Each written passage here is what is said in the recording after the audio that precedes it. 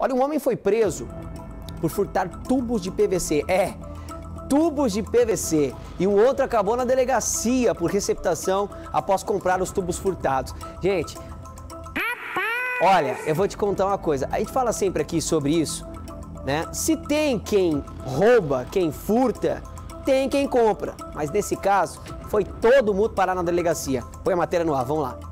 A polícia militar foi chamada para comparecer no bairro Vila Maria no final da tarde de ontem, aonde um homem foi flagrado furtando ali tubos de PVC de uma obra.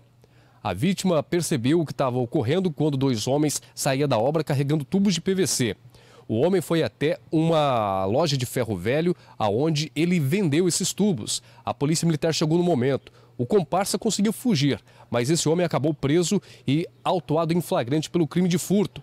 O dono do ferro velho, sabendo que os produtos eram ilícitos e sabendo que era um viciado em drogas que estava vendendo, sabendo que os produtos eram produto de furto, ele mesmo assim tomando ciência disso, comprou os produtos e foi levado para a delegacia e autuado pelo crime de receptação dolosa, aquele que quando a pessoa tem a intenção de comprar um produto sabendo que é de forma ilícita, irá responder o processo em liberdade. Após o auto de flagrante e também os materiais serem catalogados e identificados na delegacia, foram devolvidos para a vítima.